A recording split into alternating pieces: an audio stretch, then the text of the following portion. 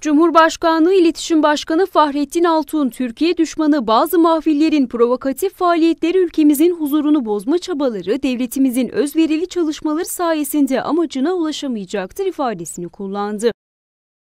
Altun sosyal medya hesabından yaptığı açıklamada bir süredir Suriyeli sığınmacılar üzerinden kamuoyunda oluşturulmaya çalışılan olumsuz hava ve gerilimin artışına neden olan provokasyonların yakından takip edildiğini belirtti. Altun sosyal medyanın birçok platformunda ortaya atılan asılsız iddialara, manipüle edilmiş bilgilerle kasıtlı olarak yapılan yalan haberlere ve vatandaşlarımızı provokasyona sevk edecek tüm dezenformasyon faaliyetlerine karşı devletimizin ilgili birimleri, İletişim Başkanlığı koordinasyonunda 24 24 saat esasına göre çalışmalarını sürdürmektedir. Bu çalışmalara destek olmak amacıyla her zaman olduğu gibi asılsız haberlere prim verilmemesi, içeriklerin yayılımında dezenformasyon boyutunun ve ihtimalinin göz önünde bulundurulması ve resmi makamlarımız başta olmak üzere yalnızca güvenilir kaynaklara itibar edilmesi konusunda vatandaşlarımızın hassas davranmasını önemli rica ederiz ifadesini kullandı.